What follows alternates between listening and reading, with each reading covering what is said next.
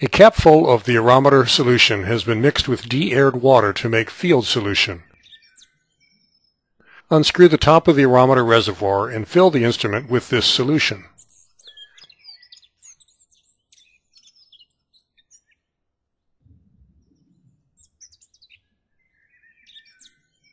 Since the reservoir is wider than the body tube, the water will bridge over and the surface tension must be broken to let it flow down into the instrument's body tube. This can easily be done by gently slapping your palm against the open top of the IRROMETER until the water level reaches the reservoir.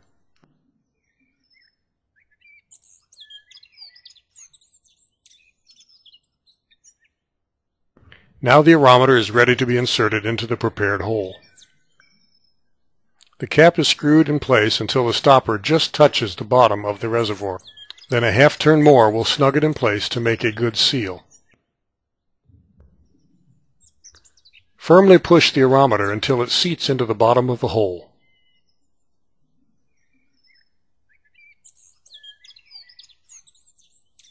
Mound and compact a little soil at the surface so that water doesn't puddle there. This keeps water from running down the tube and giving a false reading. The sensor should only see the water that percolates down through the undisturbed soil. Be sure there is adequate space so that the gauge does not touch the ground surface.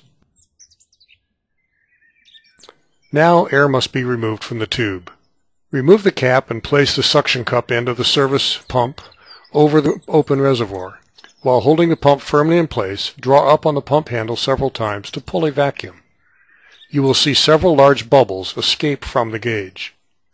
It is important to get this air out of the system so it doesn't affect the vacuum created by soil water tension that the instrument is designed to measure. Tapping the gauge can help to dislodge trapped air. Bend the finger valve to release the vacuum slowly, allowing the pump to be removed.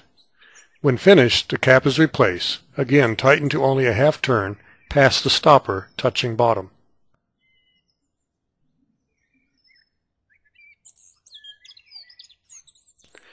As the site is monitored, readings should be recorded and graphed on the chart paper.